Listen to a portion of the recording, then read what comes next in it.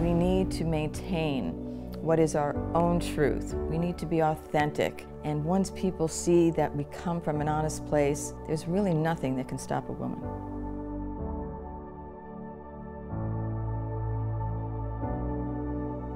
Did you ever imagine that you would be chairman and CEO of the world's largest toy company? Absolutely not. I just wanted to be the best that I could be. And when you do that, you automatically do the job that's above you. My first product was called a bad case of worms. And when you threw them against the wall, they would slither down.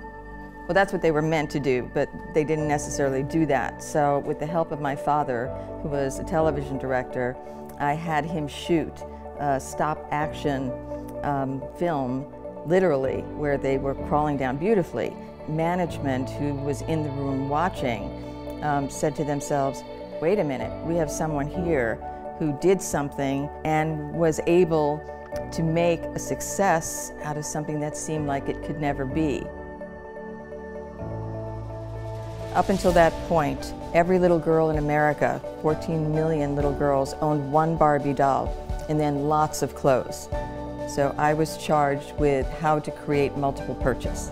And that's how the campaign of We Girls Can Do Anything happened and it changed the total trajectory of Barbie, I think forever.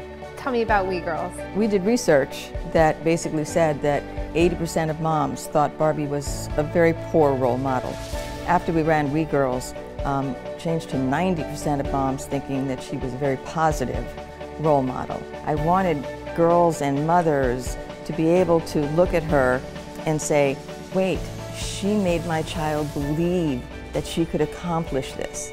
And to me, I mean, there is no greater purpose on this earth as a woman than to achieve that goal, and, and we did.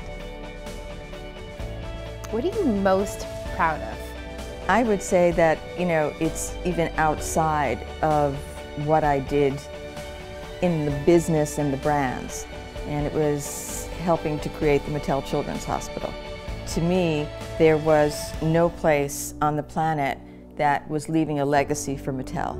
And to this day, Mattel supports that hospital and every Mattel employee volunteers there and spends time with all those children.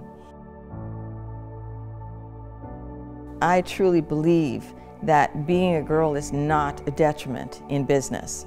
And um, I'm going to work very, very hard to see if I can do something to help make a change. Because I really believe if women join together, not only would they be an unbeatable force, they'd be a force for good.